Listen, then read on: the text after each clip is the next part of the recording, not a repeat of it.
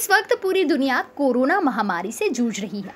Corona virus को देखते हुए देश में 17 मई तक लॉकडाउन लगाया गया है। लॉकडाउन के बावजूद भी देश में कोरोना पीड़ितों की संख्या सड़सठ के पार पहुँच चुकी है।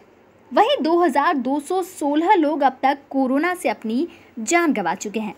लेकिन इन सब में इक्कीस ये वही राहत देने वाला आंकड़ा है जिन मरीजों ने कोरोना से जंग जीती है, उनका। वहीं मध्य प्रदेश की आर्थिक राजधानी इंदौर की बात की जाए तो इंदौर रेड जोन में है और यहाँ कोरोना पीड़ितों की संख्या 1800 के पार पहुँच चुकी है। वहीं उन नब्बे लोग कोरोना से अपनी जान गंवा चुके हैं, लेकिन इन्हीं में आठ सौ इक्यानवे लोग ऐसे हैं जिन्होंने कोरोना से जंग जीत ली है और स्वस्थ होकर अपने घर लौटे हैं।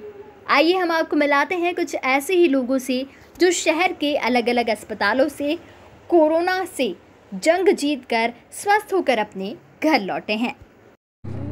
मेरा नाम दिलीप घुंगराले है। मेरे तो स्वर्णबाग कॉलोनी। और मेरा इलाज सही साठ हुआ है। तो मुख्यमंत्री का मैं धन्यवाद करना चाहता हूँ। जी मेरा नाम संतोष है। मैं बिहार के रहने वाला हूँ। और हमारे मुख्यमंत्री ने कोरोना का इलाज करवाया है। उसको धन्यवाद करना चाहता हूँ। पद्मा जैन मैं डी बयालीस सुदामा नगर यहाँ के जो स्टाफ है उनकी सेवा से मैं बहुत प्रसन्न हूँ। मैं बहुत अच्छी होकर घर जा रही हूँ और उन सब लोगों का धन्यवाद करती हूँ। मुख्यमंत्री जी को भी धन्यवाद करती हूँ।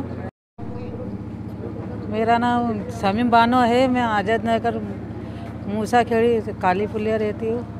नेत्राम के बगीचे और मैं अच्छी हो गई हूँ और- धन्यवाद उन मुख्यमंत्री का। मैं अच्छी तरह अच्छी होके जा रही हूँ। Subscribe our channel and press the bell icon for more updates.